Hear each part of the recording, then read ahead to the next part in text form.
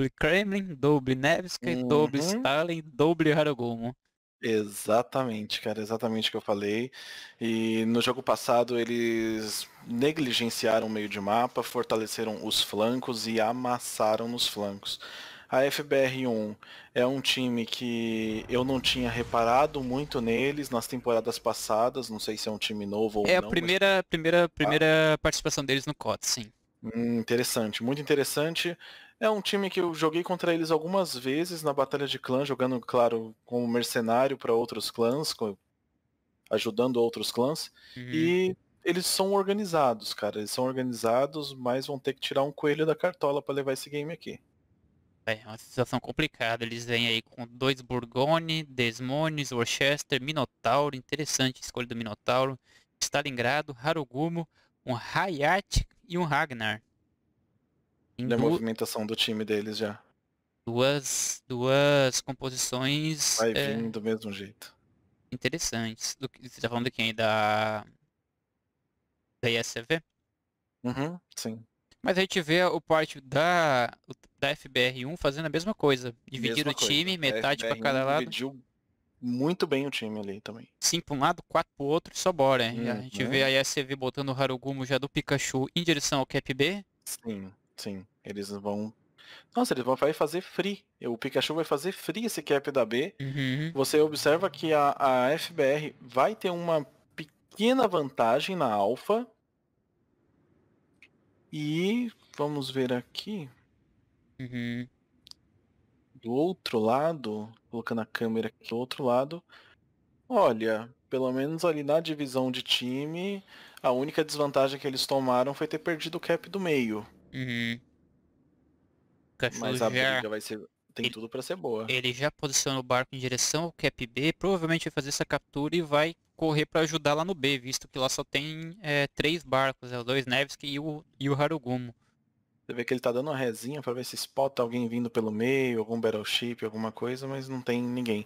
Ele quer justamente verificar o posicionamento central ali no, no H6, ali um pouco para trás do H6 para ver se você tem algum battleship por ali. E não tem ninguém. Uhum, fez o cap, ele vai saindo agora.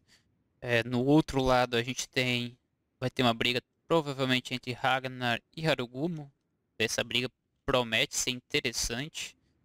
Para o Ragnar, lembrando, tem radar de 7,5 km. Lembrando que quem tá no Ragnar é o Eldan e ele possui o recorde de dano de Ragnar atualmente no servidor NA. E você tem o valor? Hum? Qual que é o valor? 3... 340 ou 350k de dano. Ok. Fácil. É, no final do jogo ele ficou sozinho contra quatro caras e farmou os quatro. Bom. É, é esse cara que tá de hack. É, então. Não quero desanimar, mas é ele que tá de hack. Mas ele pode errar também, ele claro, também é humano. Exato, exato. A gente vê o Stalingrado tomando tiro aqui já, o, o Gabriel. Tô tomando uma salva na website que entrou uma cidadela.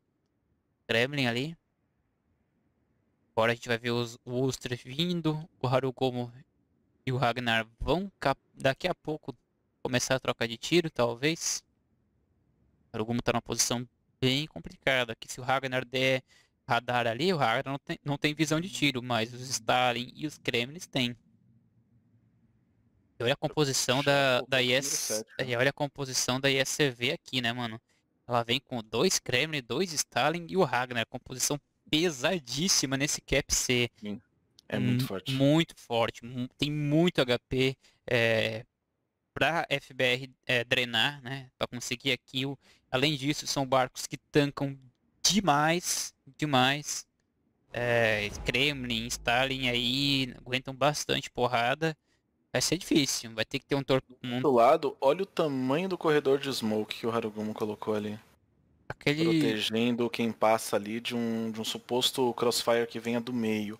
Obviamente eles não tinham informação ainda que não tinha ninguém no meio, mas o corredor de smoke do Harugumo gigantesco. É, o smoke é aquele modo lendário, né, do, do Harugumo. É. Ele entrou ali, ó, fez quase que um S no uhum. meio da, das duas ilhas, pegando a entrada de uma ilha e saindo pela outra. Fechou completamente a visão do meio, né? Tudo bem que os Uhum. Neves que estão sendo spotados porque o Borgone tá pra fora, né, da Smoke, então ele tá conseguindo spotar eles. Mas se eu tivesse ali, se fosse spot central, estaria de boa pra ele. Estaria de boa. Nossa, o, Pe- é, o Petro já abraçou um torpedo ali. O Petro que tá jogando de Hayat. É, o Petro que tá jogando de Hayat, vale lembrar. É. O Hayat a- abraçou um torpedo e já foi de base. Agora vem. Isso... Então, isso é muito prejudicial. O Burgoyne ficou numa situação muito difícil, uma situação praticamente sem retorno. Aí o Borgone é um encoraçado que não tem muito HP pra queimar. Ele não tem muito Sim. HP, ele não tem muita blindagem, então ele acaba sofrendo bastante. A gente vê como ele É. vem sendo farmado pelos Neves e pelos Harugumo. Vai derretendo. E, e não, ele- eles poderiam trocar pelo Nevsky, mas olha ali o que, que o Pikachu fez. Mais uma Smoke. Mais um Smoke fechou o cara. Um Smoke muito bem utilizado. Lembrando que Smoke não precisa ser em cima do navio. Uhum. Você pode jogar Smoke na frente entre o navio e o adversário e você vai esconder ele da mesma forma. É quase como se você estivesse colocando uma ilha ali. Exatamente. O, o nosso amigo Nômade vai caindo com o Borgone. Não resta muito a fazer. Foi o Burgoyne. E Derre- com isso, ele- eles assumiram um, um posicionamento de flanco, de, de kite, desculpa, no aqui no, no cap A.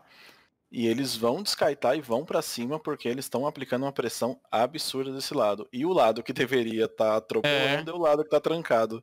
O, do outro lado ali, o, o, o Kremlin acabou derrubando um dos Harugumi. Agora a gente vê o Kremlin rushando pra cima do Puxando a Borgone. Smoke. Exatamente. Vai rushando a Smoke, não quer nem saber. Puxando a Smoke, vai ter que aproximar a câmera ali, papai, pra poder ver dentro da Smoke. Exatamente. Tá atirando, vai atirar em um e bater no outro. Vai, vai. É lucro pra ele. É lucro, muito. Muito lucro. E saiu vivo. Não! Saiu vivo. Será que tava sem. Caraca, não, não pode ser. Será que tava sem bandeira? Eu acho que tava sem bandeira, porque não é possível. Tudo bem que é o HP do. É, mas não, é impossível. Sem... Não, é, tá sem é bandeira. possível sim, porque o HP dele é... Mas Não, mesmo dele assim. é maior, mas com bandeira mataria. É, e acabou, mano. E acabou. O jogo foi rápido, não deu nem tempo. Jogo muito rápido. É aqu- aquela coisa, você vê a experiência do time na, no posicionamento, colocar aquela cortina de smoke como foi colocada entre as ilhas, negando a visão do meio de mapa. E quando o, o Neves que se arriscou, ele se arriscou porque ele sabia que o Pikachu estava chegando, já tinha informação que o Pikachu tinha cortina de smoke para proteger ele. Mesmo assim, ele trocou tiro até a hora que ficou perigoso. Ficou perigoso, o Pikachu foi, jogou a smoke e aí você não vê mais o cara, acabou. Pois é. O jogo durou o quê? 10 minutos? Menos de 10 minutos. Porque ali no Acho foi final, ali no final caiu vários barcos. Caiu o Kremlin, derrubou o Burgone, derrubaram o, o Harugumo. No outro lado também acabaram caindo um ou dois barcos. Não deu nem tempo de perceber. Quando a gente percebeu, acabou. Quando percebeu, acabou. Exatamente, eles aceleraram bastante o jogo. Assim, pequenos erros, né? Pequenos erros foram se acumulando contra um time que. Você não pode errar. O conceito de posicionamento desses caras é inegável. Uhum. Visão de mapa, consciência de mapa é inegável. É, é- é óbvio que é muito, muito grande. E eles pegam isso, essa vantagem que eles têm, simplesmente usam no jogo, cara. A Uhum. pressão, o jeito que aquele Krenin rushou, mesmo que ele trocasse kill, que era a ideia, com o outro bebê, a ideia não era ele sair vivo, era ele trocar kill, ia estar muito na vantagem. Muito, muito na vantagem. Porque o outro lado já tinha amassado, né? Então. Uhum.